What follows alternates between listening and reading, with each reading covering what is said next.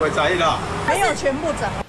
端午连假后迎来便当涨价潮，正中在店内贴出公告，十一号起调整部分商品价格。店员强调，不是每个品项都会涨价，但是涨价的品项超过店内所卖的一半。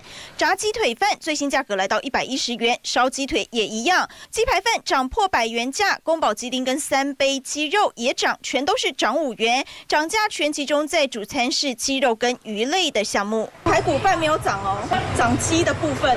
不鱼，就鱼有涨啦，鱼跟鸡啦，对对，原物料都涨。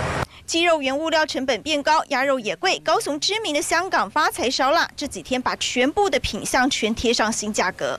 哎，是不是全部都涨价了？对的对了，我看价钱好像涨十块没了。哦，全部涨十块，很多东西都有涨啊，所以。便当涨可以理解，就是你挑挑这个挑餐厅了，你不一定要吃正宗啊，因为是有其他便当店了。对，除非便宜的。对啊。呃，不太能接受，薪水没有怎么涨啊，啊啊，便当涨的速度，就是可能随便一个单价上上就上涨了，啊，单单价跌了，便当也没降啊。对。对啊。你有感觉便当是一直在涨？对啊。正中去年四月跟前年十一月各涨一次，现在又涨，等于两年内涨三次。这次涨价全台都受影响。香港发财烧腊招牌的三宝饭涨十元后来到一百二十元，四宝饭已经要一百五十块。太师傅也坦言，演绎中不排除跟进涨价。过完这个端午节，外食主要有心理准备，吃便当得掏出更多钱。东森新闻在高雄报道。